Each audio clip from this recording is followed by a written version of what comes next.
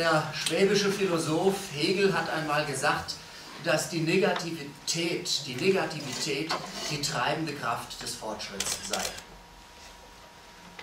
Damit widerspricht er natürlich dem Alltagsverstand, denn der Alltagsverstand sagt uns etwas anderes. Der sagt, man soll nicht so negativ denken, man soll positiv denken, das Positive wäre doch viel besser. Und ich möchte Sie einfach mal bitten, sich auf der Zunge zergehen zu lassen, was dieses Positivdenken eigentlich bedeutet. Was erwartet der Alltagsverstand, wenn er sagt, man muss positiv denken? Was ist das eigentlich? Wahrscheinlich werden Sie mir zustimmen, dass es so eine Art ganz tolles Gefühl ist, das sich einstellt, wenn man bestimmte Worte hört. Das ist auch der Grund, warum das Wort Ethik immer ethisch klingt und das Wort Ackermann immer unethisch. Wenn Sie das Wort Gerechtigkeit hören, das klingt unheimlich toll. Wenn Sie das Wort Rache hören, sieht es schon wieder ganz anders aus, obwohl es das gleiche sein kann. Ich will Ihnen ein schönes Beispiel geben, wie Sie sehen, wie die Sprache in der Lage ist, uns ein solches Gefühl zu vermitteln. Wer von Ihnen hat sich mal mit Heinrich Heine beschäftigt? Das werden Sie bald noch tun, wenn Sie es noch nicht getan haben. Es ist ein großes Vergnügen. Heinrich Heine hat mal in einer Notiz von seinem bescheidenen Leben geschildert. Er sagt, ich habe also ganz wenig Ansprüche. Ich brauche überhaupt nicht viel für mein Leben. Es genügt mir ein bisschen Obst, frisches Obst zum Frühstück, eine gute Milch, Eier und auch Brot. Ich wohne gerne in einem netten kleinen Haus und das genügt, wenn da ein Tisch, Stühle, Schrank, ein paar Fenster sind schön, ja, eine Türe. Und wenn es der liebe Gott ganz großartig mit mir vorhat, dann, ja, dann sogar da draußen ein paar Bäume, Fruchtbäume, kräftige, kräftige Äste. Ja, was glauben Sie, wie es weitergeht? Klingt doch schön, oder? Ja, und dann sagt er, ja, und wenn es der liebe Gott noch besser mit mir meint, dann lässt er an jedem dieser Bäume fünf meiner Feinde aufhängen. Ja, man muss seinen Feinden vergeben, aber nicht eher, als bis man sie gehängt hat. Hier haben Sie also einen ersten Gedanken, einen ersten Eindruck vom negativen Denken. Und Sie haben auch zugleich bewiesen, dass es wirkt, denn Sie haben gelacht. Kann es natürlich auch sein, dass Sie aus Höflichkeit gelacht haben, aber ich nehme mal an, das ist nicht der Fall, weil Sie ja gar nicht wissen, wie ich mit Leuten umgehe, die nicht lachen, wenn ich etwas Heiteres erzähle. Also ich nehme mal an, Sie haben einen Grund gehabt zu lachen und bitte bereiten Sie sich darauf vor, dass ich Sie noch fragen werde, was denn dieser Grund war. Aber bis dahin müssen wir uns noch ein bisschen mit ja, dem Widerstand und dem negativen Denken in seinem Verhältnis zum positiven beschäftigen. Das positive Denken hat einen großen Nachteil. Es verleitet uns Menschen dazu, sehr merkwürdige Fehler zu machen. Und es führt auch dazu, dass wir sehr beharrlich sind, wenn wir diese Fehler nachher verteidigen. Sie können so etwas erleben tagtäglich. Ich nehme solche Erfahrungen gerne auch aus dem erlebten Menschen, aus den Menschenbegegnungen. Und eine der schönsten war ungefähr vor einem Jahr als meine Frau, eine Lehrerin, aus der Schule kam und sie berichtete von, einer, von einem Autisten, den sie doch besonders gern hat, dem sie gerne zuhört und den sie dann auch gefragt hat, was machst du denn so, was sind denn deine Hobbys? Und er sagte, ja, ich bin bei der Feuerwehr. Und weil ich bei der Feuerwehr bin, interessiere ich mich für pyrotechnische Dinge. Merken Sie es? Ich habe meiner Frau dann gesagt, das ist schon komisch. Da muss man aufpassen, denn immer wenn man das Wörtchen weil in einer moralischen Rechtfertigung hört, ist das Wörtchen obwohl besser angebracht. Und wenn Sie das jetzt übersetzen und sagen, obwohl ich bei der Feuerwehr bin, interessiere ich mich für pyrotechnische Dinge, dann wird ein Schuh draus.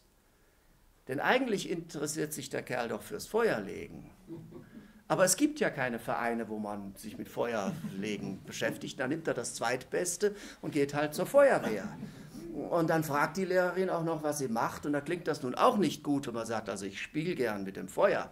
Da klingt es ja viel besser, wenn man dann sagt, also ich kümmere mich darum, dass die Schäden, die entstehen, wenn Leute zu viel mit dem Feuer spielen, etwas kleiner werden. Das wollte die Lehrerin hören. Und hier haben Sie wieder diesen merkwürdigen Fehler oder vielleicht zum ersten Mal greifbar, denn das fühlt sich viel besser an zu sagen, ich äh, muss mich ja äh, um die pyrotechnischen Dinge kümmern, aus reiner Pflichterfüllung sozusagen, nicht weil es Lust macht, Wenn man so eine Möglichkeit hat, ist dieses überwältigende gute Gefühl da und das erlaubt diesen Denkfehler, dass wir nämlich die eigentliche Wahrheit nicht aussprechen, sondern das Gegenteil.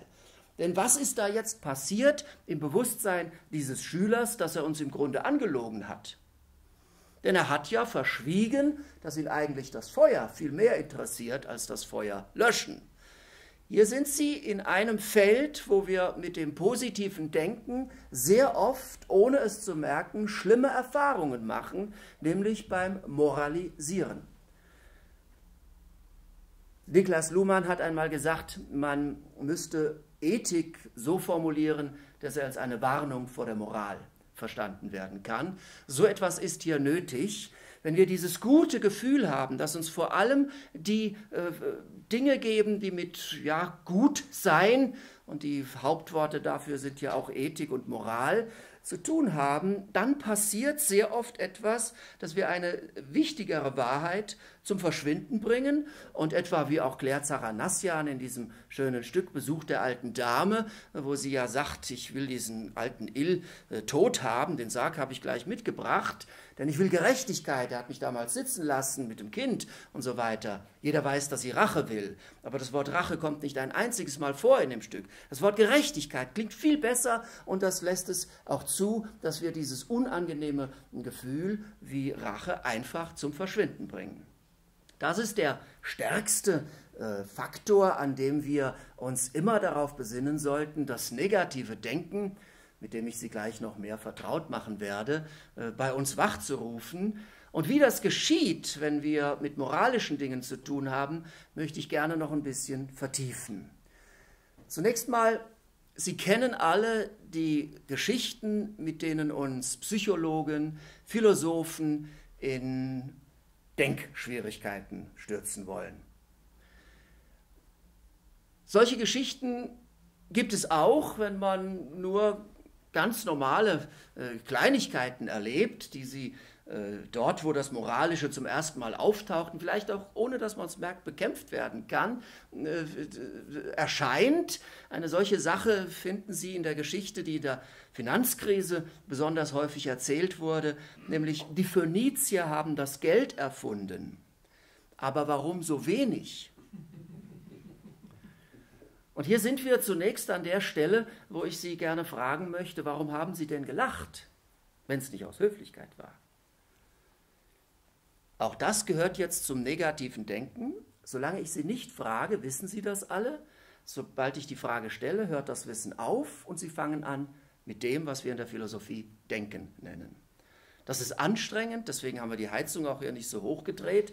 Da steigt also der Energieverbrauch im Gehirn und das können Sie buchstäblich hören. Achten Sie einmal darauf. Ich frage noch einmal, warum haben Sie gelacht? Hören Sie es, wie die Drehzahl des Denkens erhöht wird, aber es nützt nichts. Es kommt nichts hervor. Und hier haben Sie das Problem mit dem Positiven. Jeder möchte gerne denken und er glaubt, das ist auch ganz leicht. Wir sagen Leuten, denkt doch mal nach, ohne ihnen mitzuteilen, was sie eigentlich tun sollen, wenn sie nachdenken. Und an der Stelle passiert etwas, was Sie vielleicht nie wieder vergessen sollten. Denn Sie wissen, was an dieser Stelle witzig war, sonst hätten Sie nicht lachen können. Aber ihr Bewusstsein, ihre Sprache, ihre Denkfunktionen sind nicht in der Lage zu wiederholen, was sie eigentlich schon wissen. Und an dieser Stelle ist es normalerweise so, dass etwas passiert, was ich mal bei Bankern erlebt habe, also nicht bei der Bayerischen Hypo, sondern bei einer ganz anderen Bank. Dann sitze ich mit den Leuten zusammen und frage sie auch, was ist jetzt das Spannende an dieser Geschichte? Und dann hört man wieder, wie die Drehzahl des Denkens sich steigt, wie es richtig heiß wird im Raum. Und an der Stelle steht ein Mann auf und er sagt, ja, es ist einfach so, dass man aufpassen muss, äh, an welcher Stelle äh, man ähm, mit dem Geld umgeht und äh, dass man nicht zu viel in den Umlauf bringt. Und Jeder sieht, das war kein bisschen witzig. Er hat nicht beschrieben, warum das witzig war, sondern hat irgendeinen Nebenschauplatz eröffnet.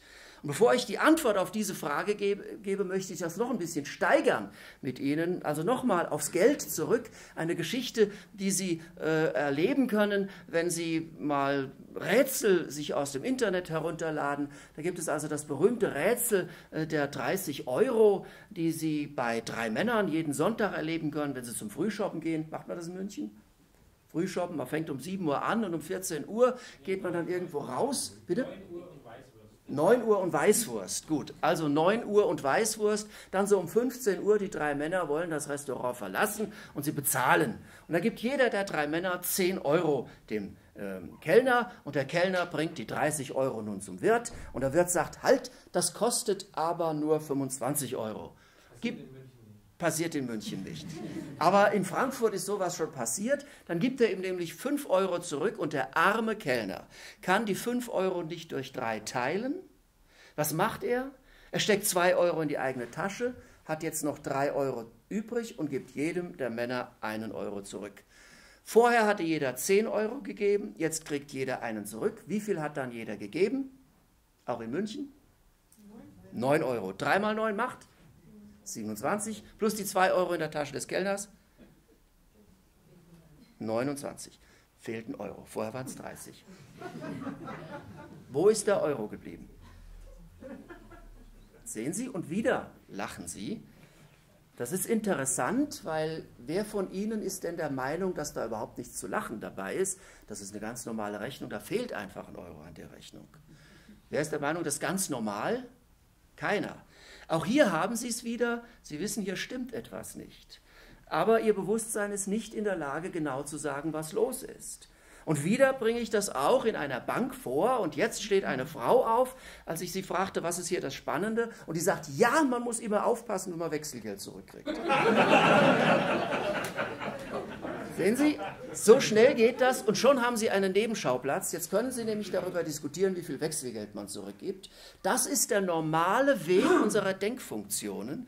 Wenn eine Aufgabe zu schwer ist, dann weiß man nicht, wie man sich konzentrieren soll, nimmt das erste Angebot, um auf ein Feld auszuweichen, wo das viel leichter geht und dort wird jetzt richtig geackert. Das machen die an der Universität übrigens auch so. Da entstehen Bibliotheken über Bibliotheken an Büchern, über die andere Studenten nachher Doktorarbeiten schreiben müssen, die wiederum nur andere Studenten lesen, die eine Doktorarbeit schreiben müssen. Der Roland hat diese Geschichte ja bereits geschildert. Das sind sehr oft Nebenschauplätze und nun müssen irgendwelche Leute kommen und müssen das wieder zum Wesentlichen zurückführen. Was ist aber das Wesentliche daran? Wir haben also jetzt zwei offene Fragen. Die eine Frage ist der Phönizierwitz. Warum ist die Sache so witzig. Phönizier haben das Geld erfunden, aber warum so wenig? Hat jemand die Antwort? Wenn Sie das mal im Freundeskreis machen. Das ist jetzt auch, auch eine, eine gute Antwort. Aber Sie sehen, sie gehört jetzt noch zu einem anderen Fall. Sie ahnen was, Sie ahnen etwas und das kommt schon auch vor, wir werden das gleich noch ein bisschen üben. Also ich würde sagen, Sie haben was Leuten hören, wissen aber noch nicht, wo die Glocken hängen an der Stelle. Es ist so, dass wir, wir werden es gleich auch testen, dass wir zunächst mit unserem Verstand nah rankommen.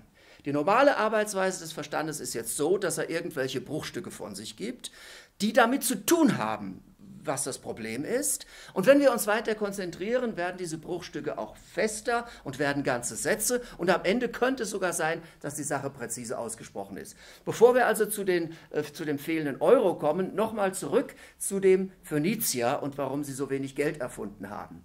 Wenn Sie das in einem Freundeskreis machen, werden Sie verschiedene Antworten kriegen und testen Sie es aus, meistens in unvollständigen Sätzen. Meistens hat es irgendwas mit der Sache zu tun, manchmal aber auch gar nicht.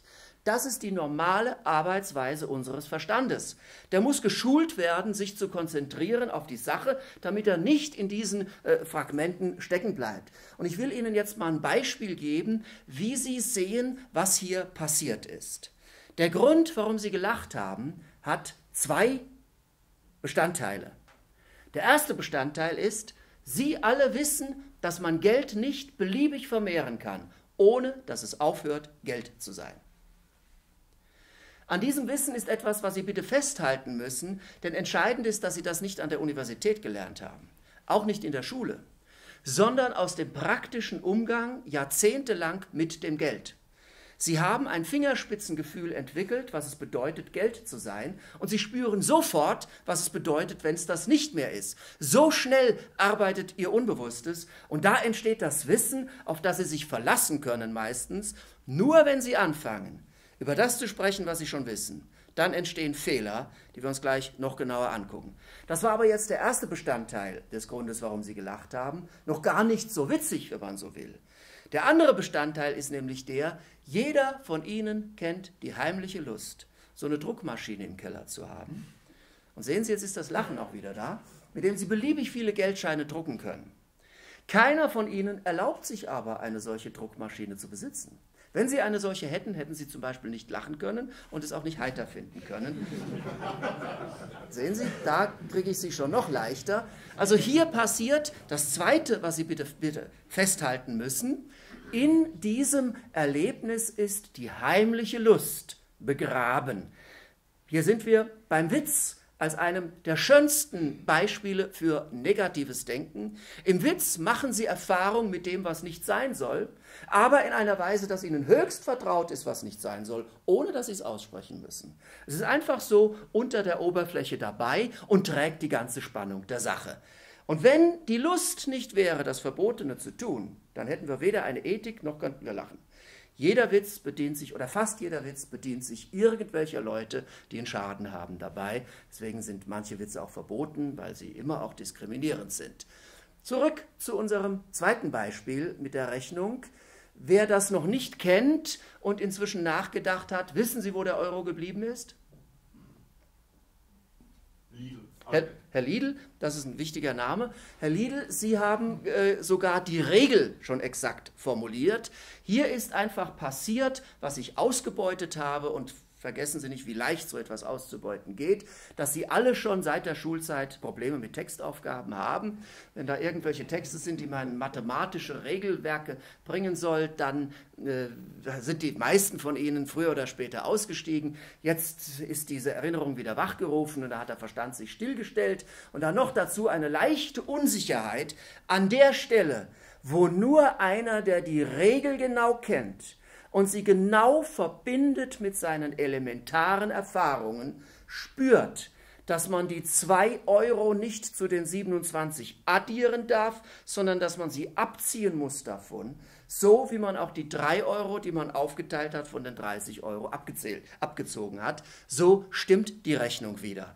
Also das Fazit aus diesen Übungen lautet, dass wir erstens ein sehr genaues Wissen von der Welt haben, ein sehr genaues Wissen, was wir erwarten dürfen, aber eine sehr schlecht funktionierende Beschreibung der Regeln, nach denen wir überprüfen können, ob bestimmte Aussagen, bestimmte verständliche Urteile richtig oder falsch sind. In diesen Schwächen erleben wir die größten Katastrophen, die wir machen, denn dann wird uns eine 5 für eine 4 vorgemacht und so weiter und wir merken nicht, was los ist. Der einzige, die einzige Kraft, die wir haben, ist die Rückerinnerung an das, was wir wirklich wissen aus der Erfahrung. Das heißt, die äh, Negation dessen, was uns als ein positiv bestimmtes Wissen in den ähm, Schuleinheiten mitgeteilt wird und die Rückbesinnung auf das, was im freudianischen Denken das Unbewusste ist, das auch im äh, ja, Wertmaßstab etwas sehr Negatives ist. Das Unbewusste ist so eine dunkle Macht. Da findet man Sachen, die man lieber nicht sehen will. Man deckt es am liebsten zu. Man taucht nicht so gerne darin ein. Man bewegt sich doch lieber im hellen Licht der Vernunft und in dem, was wir so gut von uns aussagen können. Also diese Erlebnisse führen uns zu einem Element, das ich jetzt mit Ihnen auf der Ethik einmal trainieren möchte um ihnen anschließend zu zeigen, wo wir dem negativen Denken besonders begegnen und wie wir daraus lernen können, es fruchtbar für unsere Erkenntnisfortschritte zu nutzen. Hierzu will ich an diese äh, psychologischen und philosophischen Probleme erinnern, die Ihnen immer mal präsentiert werden. Die nennt man ethische Dilemmata. Die meisten von Ihnen kennen das Lorendilemma. Das ist diese Geschichte, wo also in so einer Bergwerkslore Menschen drin sitzen sollen, die jetzt auf den Abgrund zurollen und nicht bremsen können und dann sind sie tot. Das ist so langweilig, das will ich mit Ihnen gar nicht mehr machen, sondern wir nehmen eine gesteigerte Version. Wir nehmen eine Version, in der Sie Ärzte sind. Also so ein positiver Beruf mit dem weißen Anzug, mit der weißen Weste. Sie sind richtig guter Arzt, Sie haben eine Praxis und jetzt kommen fünf Leute zu Ihnen aus so einem Lorenunglück. Die sind irgendwo am Ende eines Gleises abgestürzt und die sehen ziemlich übel aus. Einer sieht so übel aus, dass wenn Sie den nicht sofort behandeln, dann stirbt der. Wenn Sie den aber sofort behandeln, haben Sie keine Zeit mehr, die anderen vier zu behandeln. Dann sterben Ihnen die anderen vier also weg. Sie können aber, und das wissen Sie, die anderen vier gleich behandeln und den fünften sterben lassen. Dann wissen Sie, die vier haben Sie wenigstens gerettet, und zwar ganz sicher. Da sind Sie aber auch den ganzen Tag beschäftigt. Nur der fünfte ist dann halt tot. Sie kennen alle diese Leute nicht und das, was ich sage, gilt jetzt einfach mal. Wie verfahren Sie? Kümmern Sie sich um die vier Leute, die Sie retten können, oder kümmern Sie sich um den einen, der stirbt, wenn Sie nicht sofort behandeln? Wer von Ihnen kümmert sich um die Vieren? Ganz deutlich kann man sagen, es ist die Mehrheit. Ja? Wer kümmert sich um den einen? Ach, das kann nicht sein. Wenigstens eine, ja, das finde ich auch, das steht ihm zu. Also normalerweise sind das so fünf bis zehn Prozent, aber wie auch immer. Es kann auch sein, dass die anderen unehrlich sind. Das ist auch eine Form des negativen Denkens, aber macht nichts. Der, äh, die Begründung, warum würden Sie diesen Vieren helfen und nicht dem einen? Vier sind mehr als einer. Das ist die wahre Begründung? Ja. Ja? Bleiben Sie dabei? Anderen auch? Jemand eine andere Begründung? Also dann verschärfen wir das Problem. Jetzt sind Sie nicht nur der Arzt in Weiß, sondern jetzt sind Sie der beste Transplantationschirurg, beste Transplantationschirurgin weltweit. Und nun kommen nicht Leute aus einem Unfall, sondern vier Patienten, die dringend ein Transplantationsorgan benötigen. Der eine braucht ein Herz, der andere braucht eine Lunge, wieder einer braucht ein Gehirn, noch einer braucht ein Pankreas oder so etwas. Und das Problem ist nur, sie haben keine Transplantationsorgane. Und wenn sie nicht sofort handeln, dann sterben ihnen die vier Leute weg. Die sind sonst gern gesund und sie kennen die auch nicht, sie sind nicht verwandt. Sobald sie ein Organ hätten, können sie diese, Lebens, diese Leben retten. Und jetzt fällt ihnen ein, da ist ein junger Mann im Wartezimmer, der ist kerngesund. Der ist nur mal zu einem Check-up gekommen und er schläft gerade. Sie brauchen also nur eine Narkose zu setzen und dann wacht er nie wieder auf. Das tut noch nicht mal weh. Sie können alle Organe dort herausnehmen und jedem dieser Leute, die ein Transplantationsorgan Organ benötigen, ein solches einpflanzen. Sie haben damit wieder die Möglichkeit, vier Leben zu retten. Eins geht halt drauf. Wenn Sie das nicht machen, sterben vier und einer lebt halt, wenn er ausgeschlafen ist. Wer von Ihnen würde also jetzt den Mann im Wartezimmer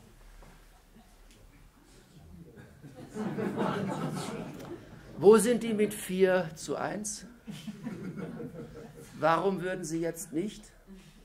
Weil jetzt ja die Situation eine andere ist, weil in dem ersten Fall, den Sie geschildert haben, habe ich jemanden, der an der Schwelle des Todes ohnehin steht. Oder ich glaube es zumindest. Ja. Im zweiten Fall habe ich einen vollkommen gesunden Menschen, mhm. äh, mit dem nicht ersichtlich irgendetwas passieren würde. Ja, Und ich ja. denke, das ist das, was eben halt das Denken umschalten lässt. Ja, ja, ja, ja. Bitte? Nein? Ja, da. Ja, Sie haben noch eine andere Möglichkeit. Sie haben gesagt, Ja, reden Sie mal nicht weiter, ich weiß schon, das ist klasse. Bitte entschuldigen Sie, noch nicht verraten, das kommt manchmal vor, dass einer so klug ist. Und das ist nicht so, dass ich ihn jetzt nicht zu Wort kommen lassen will, aber ich will Ihnen den Spaß nicht verderben einfach. Deswegen lassen wir das nochmal weg. Ich weiß, dass die meisten eine ähnliche Erklärung geben. Und äh, Sie können dieses Beispiel auch sich immer wieder anschauen. Das macht der Michael Sandel sehr gut in Harvard. Und er nutzt das, um zu zeigen, dass das ein Beweis sei dafür, dass wir Menschen kategorisch gültige Werte haben. Wir würden also nicht Menschenleben miteinander verrechnen, wenn es darum geht, richtig Hand anzulegen. Alle Menschen auf der Welt würden das nicht tun. Und sie werden, außer Jack the Ripper, ganz wenige, die sind einfach für uns nicht richtig zurechnungsfähig, die erklären wir für wahnsinnig. Sie werden auf der Welt sonst keine Menschen finden, die an der Stelle sagen, komm, nimm den armen Kerl, der ist, irgendwann muss er sowieso sterben. Und vielleicht sogar in dieser Nacht. Also es gibt immer Begründungen für so etwas. Die werden Sie aber normalerweise nicht hören. Sie hören immer das, was dieser Philosoph, der Philosophieprofessor, ganz linientreu auch dann als den kategorischen Imperativ herleitet. Hier gibt es absolute ethische Werte, die wir nicht in Frage stellen. Wenn Sie sich aber einmal anhören, was jemand wie Sie zu sagen hat, sagen Sie es jetzt bitte mal. Ja, naja, die vier Menschen, die da also äh, unbedingt Transplantation brauchen, haben ja jeweils ein Organ, was versagt und alle anderen sind ja völlig in Ordnung, wie wir erfahren haben, weil die sind ja ansonsten kerngesund. Das heißt, man könnte sich vielleicht überlegen, welche der vier Transplantationen ist die schwierigste und der hat halt Pech gehabt und den beide Ja, warum sind Sie nicht auf die Idee gekommen? Ich wusste, dass das kommt, wir haben uns nicht vorher abgesprochen. Das zeigt, wie berechenbar der menschliche Verstand ist, wenn man erstmal die, die Regeln kennt, sozusagen. Also das ist sehr richtig. Also es gibt immer mal jemanden, der sieht sofort, wo ist da das Problem? Ich brauche doch nur zu warten, bis der Erste an seinem Organ stirbt, an dem Kranken, und dann hole ich mir die anderen Organe und die kriegen die anderen drei eingepflanzt. Plus den Mann im Wartezimmer habe ich auch vier gerettet und einer ist gestorben. Bitte? Brauchen nur noch drei Organe. Die sind in dem Toten dann schon drin. Genau. Aber der, ja, aber der andere, der da schläft, der braucht gar keine herzugeben. Der braucht nicht als Spender aufzutreten. Und damit habe ich vier Leben gerettet und eines ist tot. Genau die alte Rechnung wieder. Die kann ich erhalten. Das ist das Entscheidende, was ich Ihnen sagen will.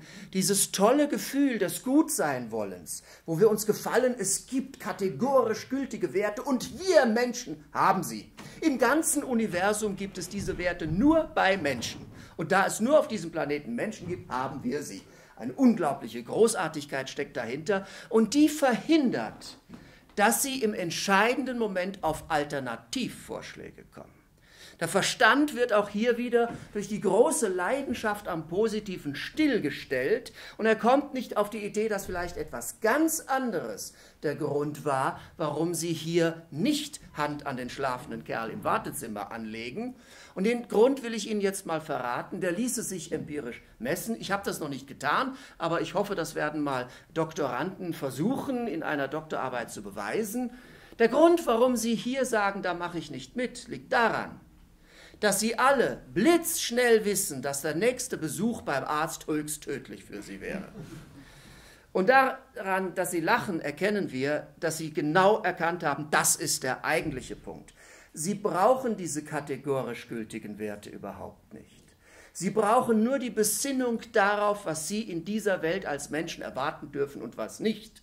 Und da haben Sie einfach blitzschnell aus der Erfahrung mit Menschen und aus dem, was Sie erwarten dürfen, gemerkt, wenn das jetzt durchbricht, dieser Damm, kann ich nicht mehr guten Gewissens zum Arzt gehen.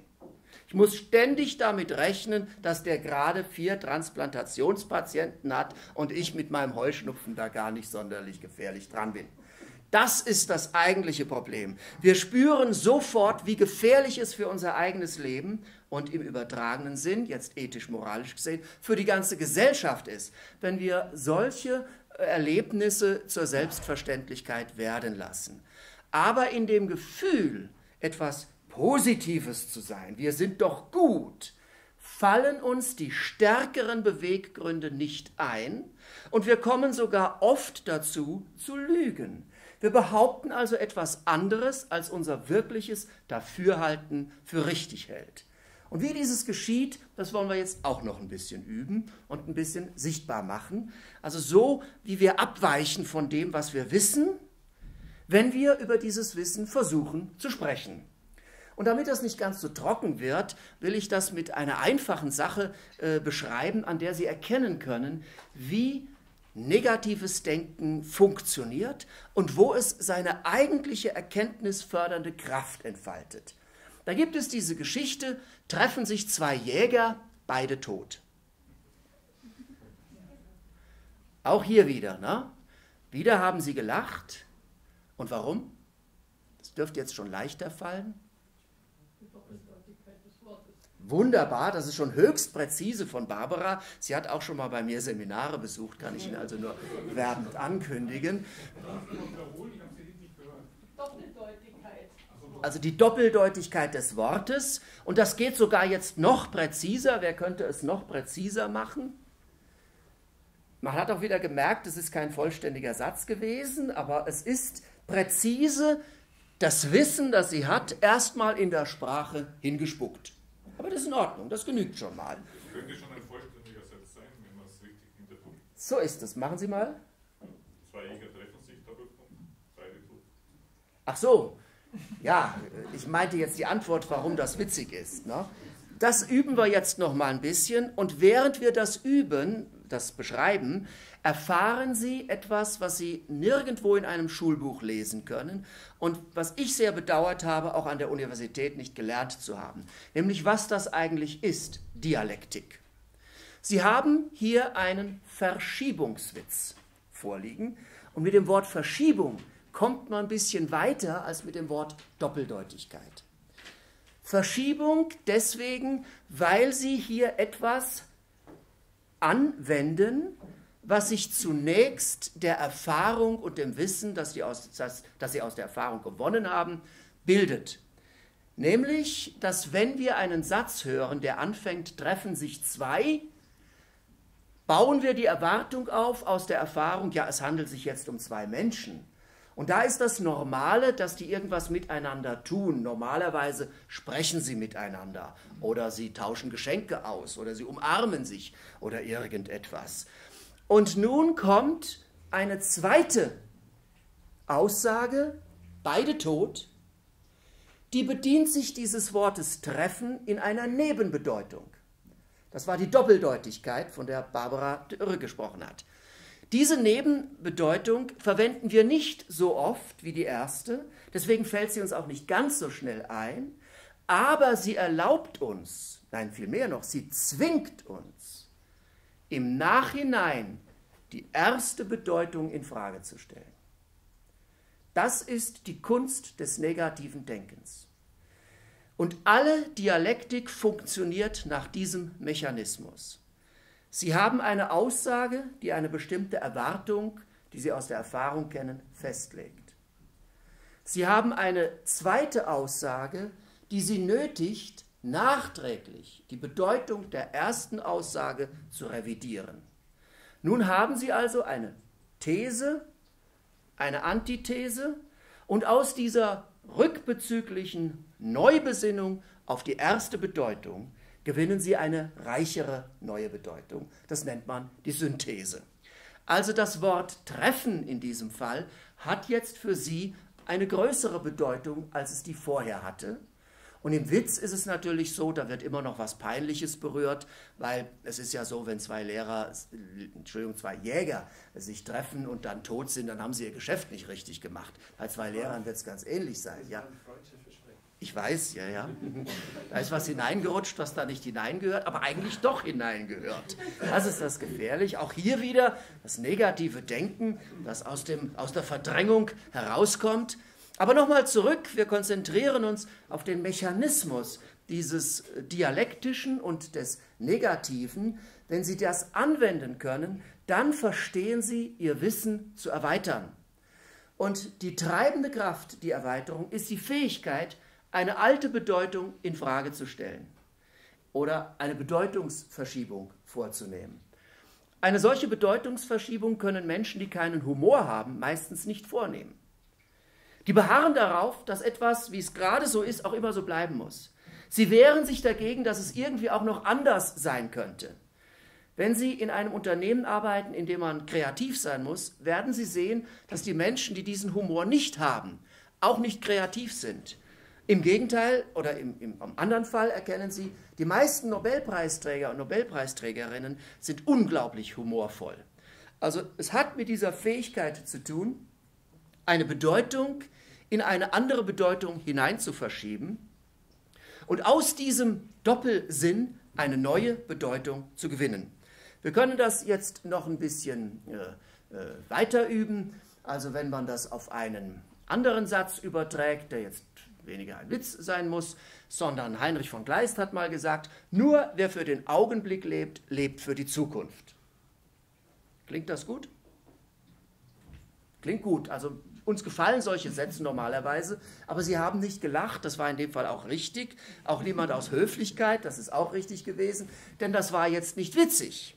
Aber wir lieben solche Sätze, weil sie verdichtet uns ein Wissen mitteilen, ohne dass wir nachdenken müssen dabei. Wir haben das Gefühl, da stimmt etwas dran, weil uns im Unbewussten genau dieser Erkenntnisgewinn vermittelt wird. Erst die Bedeutung, nur wer für den Augenblick lebt, bedient sich der gewohnheitsmäßigen Erfahrung, dass der Augenblick keine zeitliche Ausdehnung hat, keine Vorgeschichte hat, keine Nachgeschichte hat und so weiter. Und plötzlich kommt eine andere Bedeutung, nämlich für die Zukunft das, was der Inbegriff der Ausdehnung ist und sogar noch das, was kommen wird, was noch nicht festliegt, was also nicht die Vergangenheit ist. Und so wird der Augenblick für uns zu etwas, was er zunächst nicht gewesen ist, zu etwas, was sowohl in die Zukunft ragt, als auch in der Gegenwart seinen Platz hat. Solche Dinge gefallen uns deswegen, weil sie eine Wahrheit aussprechen, ganz verdichtet. Und wenn wir uns mit Philosophie beschäftigen, dann haben wir es damit zu tun, dieses Wissen, das uns so gut gefällt, auch möglichst genau in Sprache auszudrücken, sodass wir vielleicht sogar Regeln formulieren können und anschließend aus der Anwendung dieser Regeln systematisch ein Stück weiterkommen. So etwas passiert in der Dialektik. Kann, kann ich Ihnen, oder vielleicht fällt Ihnen noch ein schöner dialektischer Satz ein. Es lebe der Tod. Immer bedienen sie sich einer Erfahrung, einer Selbstverständlichkeit und der Möglichkeit, diese Erfahrung in Frage zu stellen. Dort, wo es heiter ist, machen wir das mit Humor. Dort, wo es erkenntnistheoretisch ist, machen wir das mit einem Erkenntnisinteresse. Aber immer hat es damit zu tun, dass wir die Bedeutung einer Sache ausweiten. Wenn Sie in der Dichtung schauen, dann weitet der Dichter durch solche Funktionen äh, die Sprache. Shakespeare etwa bringt in seinen Sonetten eine schöne Zeile, an die ich gerne denke, in der es heißt, It is no love, my love, that thou mayst true love call. Es ist keine Liebe, meine Liebe, was du Liebe nennst. Es ist dreimal das Wort Liebe in einem Satz und er meint dreimal etwas ganz anderes damit. Aber an der Art und Weise, wie diese Worte äh, zueinander stehen, in welcher Stelle sie im Satz gebracht werden, eröffnet sich sofort für uns eine neue Bedeutung, mit der wir dann auch arbeiten können. Und äh, dieses Sprachliche ist natürlich das Hauptfeld, mit dem wir es zu tun haben, an dem wir wieder daran erinnert werden sollten, dass die Sprache nur dann eine wahre Sprache ist, wenn sie das Wahre ausspricht, was wir eigentlich schon wissen. Alles andere möchte ich als Pseudodenken und Pseudosprechen bezeichnen. Nur das, was sie wirklich als ein Erfahrungswissen mit der Sprache ausdrücken, haben sie verstanden. Wenn Sie irgendwelche Wertpapiere verkaufen und nicht wissen, wie der Wert zustande gekommen ist, dann handeln Sie verantwortungslos. Wenn Sie irgendwelche Worte gebrauchen, deren Bedeutung Sie nicht verstehen, dann reden Sie verantwortungslos und so weiter. Das, was wir normalerweise in unserer Welt machen mit Sprache, hat sehr viel mit dieser Verantwortung, Verantwortungslosigkeit zu tun. Wir haben das Sprechen gegenüber dem Denken verselbstständigt. Das Denken findet irgendwo statt und wir sagen etwas ganz anderes und unser Dafürhalten bewegt sich noch einmal irgendwo anders. Schauen Sie einen Moment auf die Bildung der Sprache. Dann sehen Sie, wie die Sprache etwas ist, was sich aus dieser Erfahrung gebildet hat, in der wir, um ein Stückchen biologisch zu werden, die äh, vielleicht größte äh, Funktionsfähigkeit unseres menschlichen Gehirns ausbeuten können. Nämlich, wenn Sie sich mal überlegen, als Kind haben Sie sicher auch schon so gerechnet, oder wer hat nicht Kinder schon so rechnen hören, 26, 27, 28, 29, 10 und 20, 11 und 20, 12 und 20. Die Franzosen rechnen heute noch so, zählen heute noch so und so weiter. Aber wie auch immer, wenn Sie so etwas erleben, dann sehen Sie, wie dieses Gehirn lernt, dass es Allgemeinbegriffe, in der Philosophie sagen wir Kategorien bildet. Es hat also zunächst gemerkt, wie man so zählt und so weiter, wie das geht. Aber das Kind hat die Regel drauf und wendet sie mit Freude sofort an. Da muss der Erwachsene kommen, halt, jetzt gibt es eine Ausnahme bei 29, hören wir auf und dann sagen wir 30 und dann fangen wir wieder an. Das müssen Sie dem Kind meistens nur einmal sagen, dann hat es die neue Kategorie drauf und dann wendet es die sofort wieder an. Und so geht das weiter. Also unsere Sprache besteht genau aus diesen Kategorien, mit denen wir einen Erwartungshorizont aufbauen und bevor wir überhaupt gesprochen haben, hat sich in unserem Gehirn das Ende des Satzes oder wie es ausgehen kann bereits gebildet und wir äh, verfahren auch entsprechend, äh, wenn wir etwas verstehen oder nicht verstehen oder auch das Gesagte so umdeuten, dass wir es verstehen können. Also wenn ich etwa etwas hochhebe und sage, diesen Fisch habe ich im geangelt, können Sie das verstehen? Da schauen Sie skeptisch, weil Ihr Gehirn gelernt hat aus der Kategorienbildung, dass nach der Präposition im stets ein Substantiv folgen muss. Wenn dieses Substantiv nicht folgt, findet kein erfolgreicher Fund im mentalen Lexikon statt und sie verlieren die Lust an diesem Denken, da passiert nichts. Das hört einfach auf. Kann man übrigens auch sehr gut messen. Also durch die Verwendung grammatikalischer Strukturen blenden wir die Möglichkeit dessen, was kommen kann, aus. Denn wenn im kommt, sind all die anderen Worte, die keine Substantive sind, schon mal außen vor.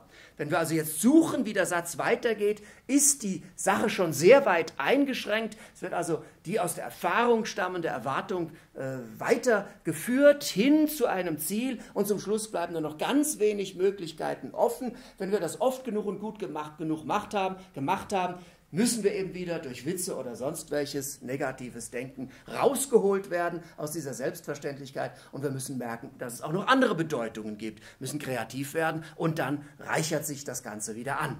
Entscheidend bei diesen Dingen, die ich Ihnen hier mitgeteilt habe, ist, dass wir selber ein anderes Verhältnis zu dem gewinnen müssen, was wir eigentlich schon wissen.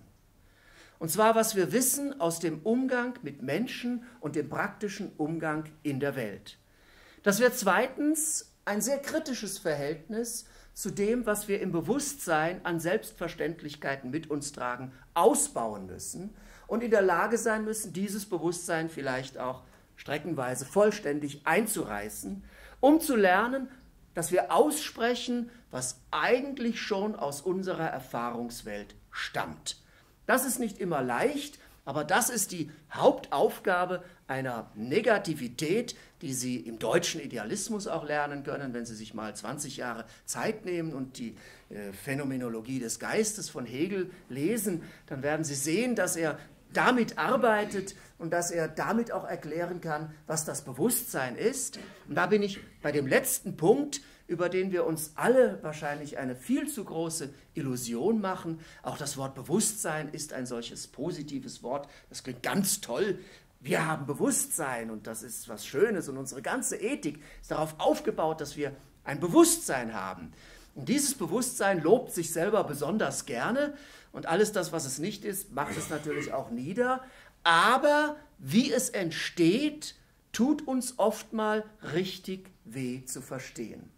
Hier will ich Ihnen zum Abschluss eine weitere Regel mitgeben, die Sie nicht einfach nur im Kopf verstehen können und dann ist sie da, sondern die Sie stets neu erfahren müssen und irgendwann als selbstverständlich erleben können. Bewusstsein ist nichts anderes als bewusstes Sein. Wenn wir im Bewusstsein etwas haben, was nicht wir selber sind, haben wir ein falsches, ein unglückliches, ein fremdes, ein entfremdetes Bewusstsein. Wenn wir also das Bewusstsein haben, irgendeine Schauspielerin im Camp, Dschungel irgendwo ein Star zu sein, den man rausholen muss, aber wir sind es nicht, dann haben wir ein falsches Bewusstsein. Die meisten Menschen tragen ein solches falsches Bewusstsein mit sich herum, das aufgebaut ist aus bestimmten Erwartungen, Wünschen von anderen Menschen gebildet, äh, die dieses Bewusstsein viel nötiger haben als wir selber und sie haben das eine nicht gelernt, aus dem, was ihre innigsten Erlebnisse sind, auch den bewussten Inhalt zu bilden.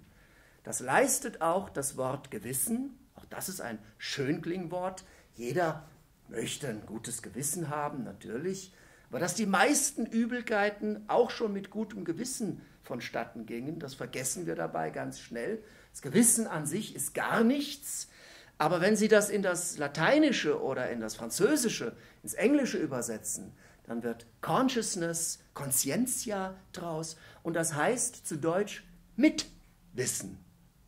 Das Gehwissen ist nämlich ein Mitwissen, denn jetzt tun wir das, was wir vorher ohne Wissen getan haben, mit Wissen. Das Bewusstsein, von dem ich Ihnen gerade erzählt habe, transportiert diesen Aspekt, der es möglich macht, dass Sie auf all diese ethischen Theorien gut verzichten können, wenn Sie das beherrschen. Denn dann tun Sie das, was Sie im Bewusstsein haben, als etwas, was Sie mit Wissen tun.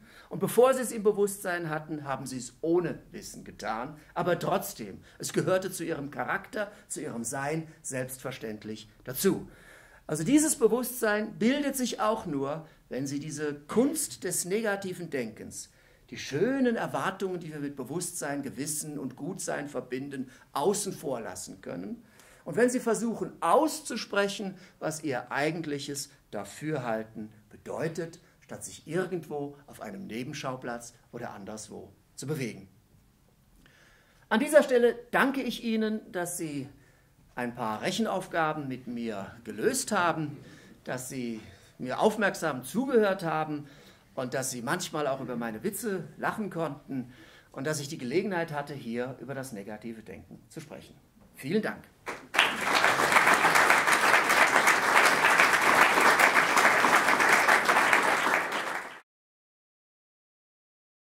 Ja, das ist wunderbar, dass Sie das sagen. Eigentlich müsste das viel vertrauter sein, das negative Denken, als es ist.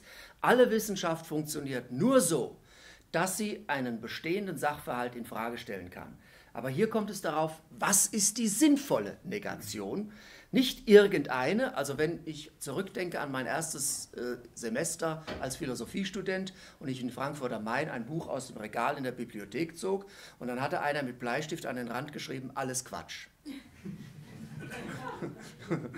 Das ist auch eine Art negatives Denken, aber Sie können das von der Dialektik sehr gut unterscheiden, weil das eine allgemeine Verneinung war. Das Entscheidende ist die konkrete Verneinung. Das Denken fängt dort an, wo Sie in einem ganz speziellen Fall sagen können, das ist Unsinn, weil das und das sich widerspricht oder weil vorher etwas anderes gesagt wurde, das eine andere Bedeutung hat, dann fängt die ganze Sache an, sinnvoll zu sein. Oder wenn man sich fragt, der sagt nun, das Gehirn entscheidet, was ich tue. Wie kann ich das beweisen? Benjamin Lippet beispielsweise war so ein Wissenschaftler, ein redlicher.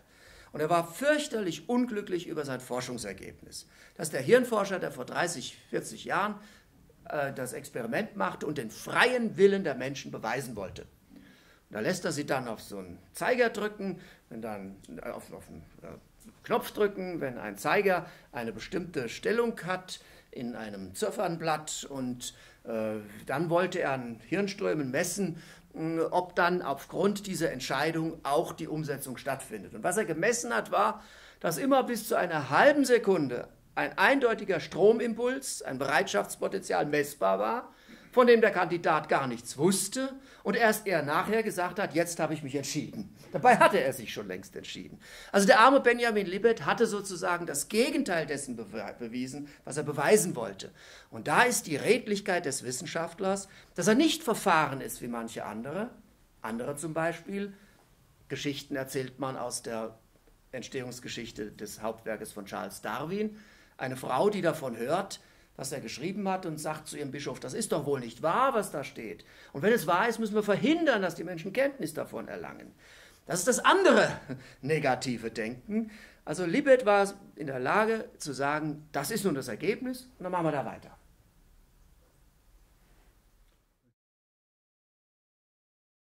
Ja, auch ein sehr schönes Wort.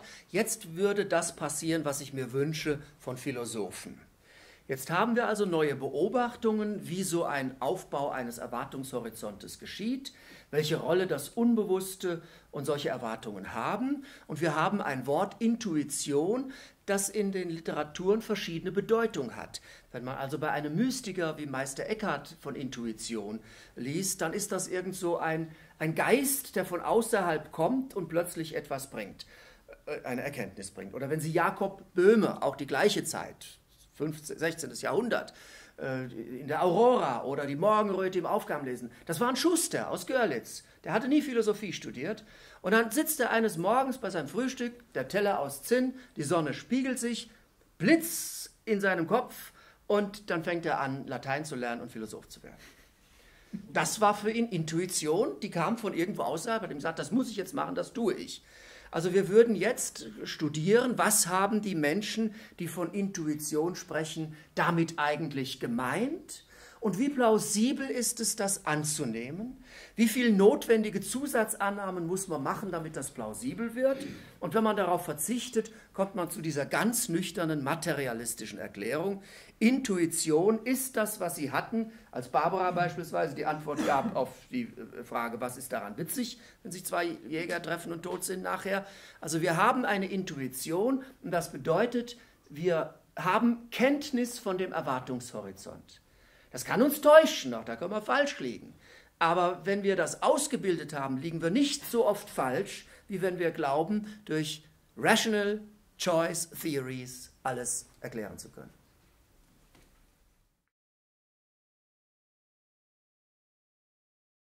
Das ist auch eine sehr schöne Frage. Hier kann man wieder sagen, äh, das negative Denken, von dem ich spreche, muss man mit der Dialektik in Verbindung bringen. Und dazu gehört es, dass die These, die erste, einen Erwartungshorizont hat. Also das Kind hat insofern einen Erwartungshorizont, dass es schon Erfahrung hat. Und vieles ist auch schon pränatal gebildet oder auch genetisch festgelegt. Also etwa der Lachreflex. Ne? Man lacht einen Säugling an und er lacht zurück, obwohl er gar nicht weiß, wie das geht. Also die Emotion, wie sich das anfühlt, wenn ein anderer lacht und wie ich das bei mir zur Resonanz bringe, ist auch bei einem Kind schon da. Jetzt haben wir den, die erste Voraussetzung schon. Wir können jetzt sehen, dass Sprache sich daran anschließt. Wir können beobachten, dass Menschen hier beim Wernicke und Broca Zentrum an der linken Seite etwas haben, was Sprache ausbildet, was bei den Affen hauptsächlich aktiv ist, wenn sie beobachten, wie andere Affen etwas tun.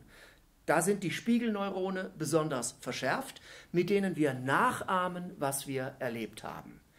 Also die Negativität des Kindes beim Sprechen kann erst dann einsetzen, wenn es sich in der Sprache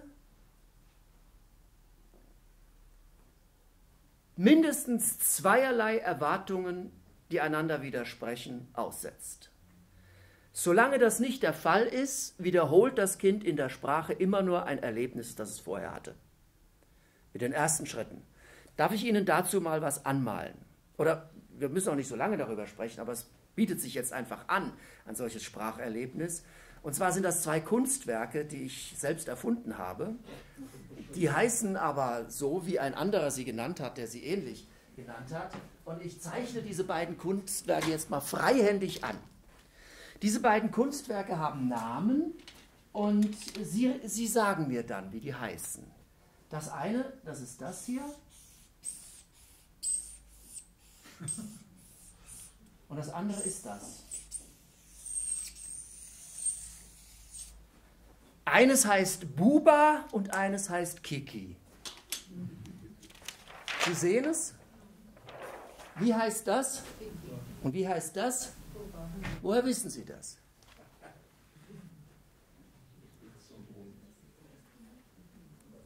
Jetzt kommt wieder der Verstand ganz langsam, es ist so rund. Ne? ist noch nicht präzise, aber was Leuten hören, muss noch präziser werden. Übrigens, ja? Die Buchstaben sind eben rund bei Buba und bei Kiki sind sie sehr spitz. Sieht so aus, aber es machen auch Chinesen genauso, die diese Buchstaben nicht haben.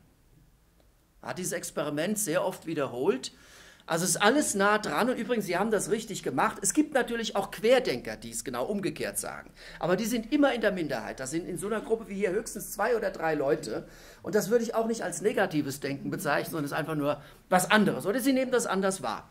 Das Entscheidende ist hier, dass man zeigen kann, dass wir in der Sprache nachahmen, was wir zunächst als eine Emotion in uns haben. Wir haben ein bestimmtes emotionales Gebilde, wenn wir das sehen und wenn wir das sehen. Und diese beiden Emotionen unterscheiden sich voneinander. Die gelungene Sprache ist nur dann überzeugend, wenn sie eine Wiederholung dieser Emotionen ist. Und das lernt das Kind zunächst. Das Kind verbindet bestimmte Worte mit einem Erlebnis, das immer früher ist als das Sprechen und ordnet sie zu. Und erst ab einem bestimmten Alter kann es Vergleiche anstellen. Etwa auch in einem Alter, wenn es zu lügen anfängt, schätze ich mal, weiß nicht genau, wann das ist, aber ich schätze mal, es hat damit zu tun, also ab bis drei Jahre, glaube ich, oder zwei Jahre können die Kinder gar nicht lügen. Wer hat da genauere Daten? Bitte? Ich meine so zwei, drei Jahre. Also es gibt das auch so ein schönes Experiment. Darf ich noch weiter plaudern? Wir haben noch zwei Wortmeldungen, äh, zwei Fragen, die habe ich gespeichert. Die kriegen wir hin. Also man kann mit Kindern in, in zwei verschiedenen Altern, ein Jahr Unterschied dazwischen, ich weiß jetzt nicht, ob sie zwei oder drei oder drei oder vier sind, ein schönes Experiment machen. Machen Sie das mal zu Hause. Nehmen Sie Schokolade, packen Sie es in bunte Papiere ein, also drei Stück rot und ein gelbes oder äh, vier verschiedene Farben und dann lassen Sie den Kasper kommen zu dem Kind und dann sagt der Kasper, also ich möchte jetzt gerne wissen, welches Schokoladenstück du am liebsten hast. Denn ich nehme mir dann genau das, das du am liebsten hast.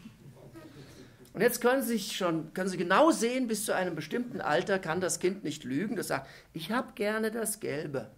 Dann nimmt der Kasper das gelbe Stück und dann müssen Sie mal die Augen dieses Kindes sehen, wie enttäuscht das ist. Und wenn Sie jetzt ein Jahr älter sind, die Kinder, und Sie machen das gleiche Experiment, da kommt der Kasper wieder, ich nehme genau das Stück, das du am liebsten hast, dann sehen Sie so ein Zwinkern in den Augen und sagt, ich habe gerne das Grüne. Und dann sehen Sie, wie der Kasper das Grüne nimmt.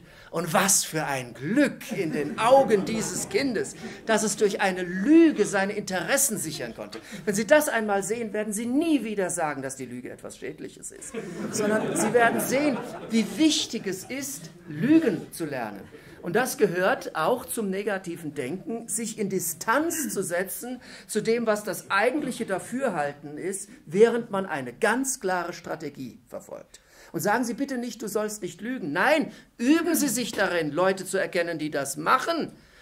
Ärgern Sie sich nicht, wenn Sie drauf reingefallen sind, sondern üben Sie sich darin zu erkennen, ob einer etwas anderes sagt, als ein wirkliches Dafürhalten ist. Das können Sie nämlich lernen.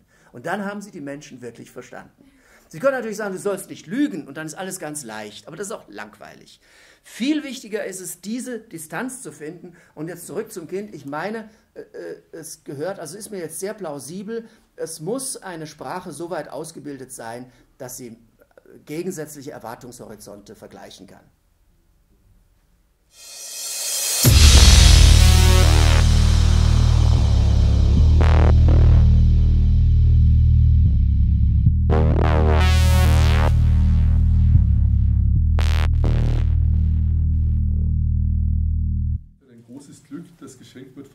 Übergeben, nicht von mir, das ist viel schöner.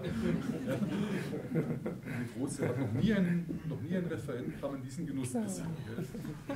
Vielen Dank.